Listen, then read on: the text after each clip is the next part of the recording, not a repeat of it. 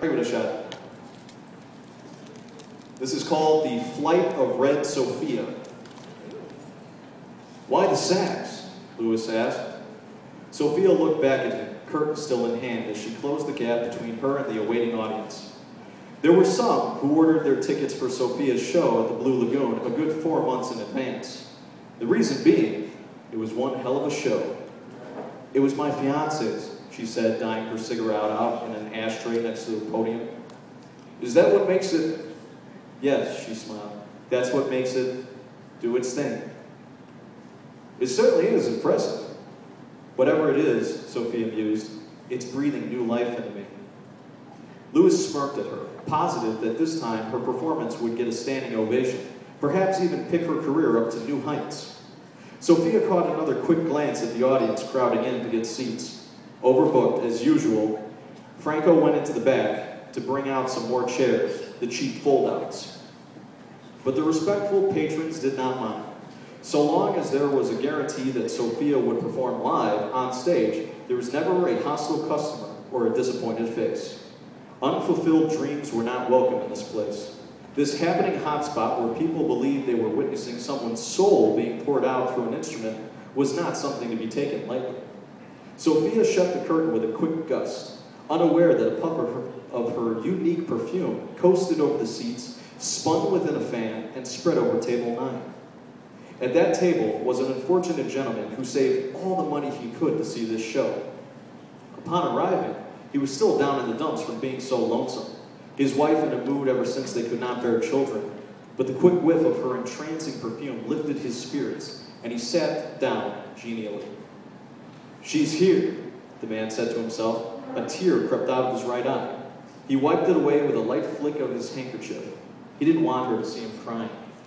Louis continued to be chatty while a comic was warming up the crowd. It was a small teaspoon of syrup to an already rather perfect Sunday, the young comic knew. But it was also an easy crowd, polite and quiet. They were all just waiting, waiting to be amazed.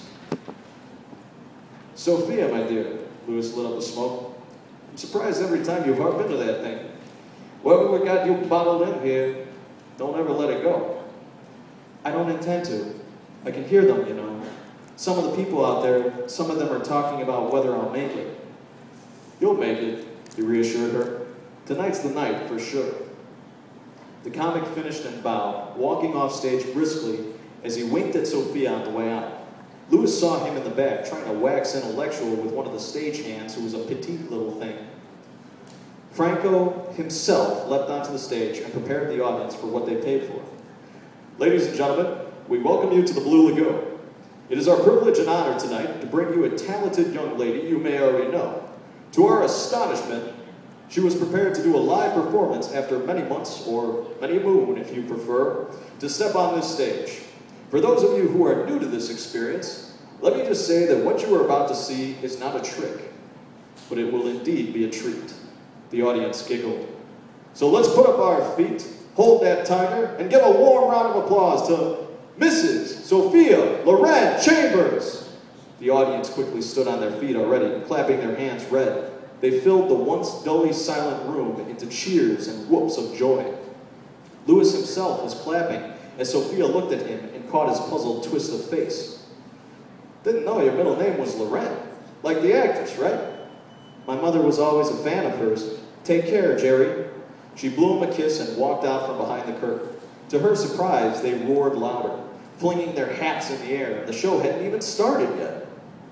Franco thanked her kindly and patted her on the hand. He used to do that to keep her nerves at ease.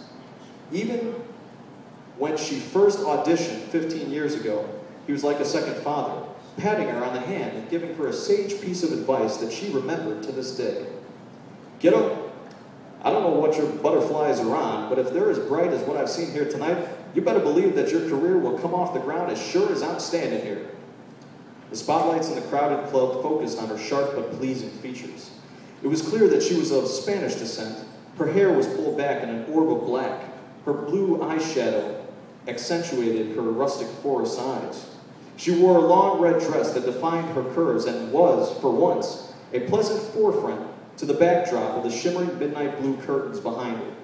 The train of her dress was twice her length, and covered each end of the stage. She smiled. That smile of hers was electric. No one else could have owned one like it. Thank you, thank you all. You're all too kind. The awaiting audience sat quietly, almost synchronized at that. This was strange to some people, but others knew it was just one of those happy coincidences. My fiance lent me this saxophone on his 23rd birthday. It was given to him by a man in Thailand who had no love for music. This sax is said to call the lost lover, a tune that carries him back. Three months later, my fiance was never seen again. No, he wasn't as popular as the great Freddie Winecone or Burgess Grass, but he was very good.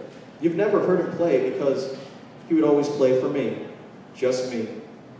Now I can tell you with strict confidence that I am not musically inclined. I also do not believe in rumors of his death in the war or of him leaving me. But standing up here in front of all of you, I believe I can call him back. I believe he's still with me. She anchored the sax in front of her, careful not to tear the front of her dress. Funny, whenever he would show me how to play this, he'd lift the train of my dress and have me walk around the apartment, playing up a storm, even when what I was playing wasn't fit for God's ears. He said to me, once you get something in motion, there's no stopping it. So now, without further delay, a tribute to my fiance with a, with a rendition of Tchaikovsky's Swan Lake. Five people were standing up to leave as the lights dimmed, but their friends quickly ushered them to sit down. It was true that Swan Lake was a hard piece, especially for someone who admitted they were not musically talented. But some saw it as a sour note to an impending disaster. Violins, yes, those were fine. Angelic, flutes, even better, lighter, more bubbly, without the side effect of a hangover. But a sax? A sax was risky business for anyone who dared try this piece on their sax. Newspapers called these poor troopers trying to make a name for themselves saxophonies. And like all presses, the newspapers and the readers alike ate that stuff up. There was always a risk that the sound would be dashed by mashed up screeches and making the instrumental sound too polka related for its own good.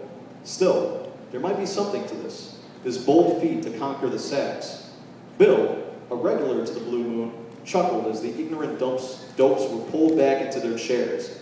He ordered himself a nice bourbon as he stood silent at the bar, amused at the fact that these poor souls thought she would just belt it out with cheeks bulging.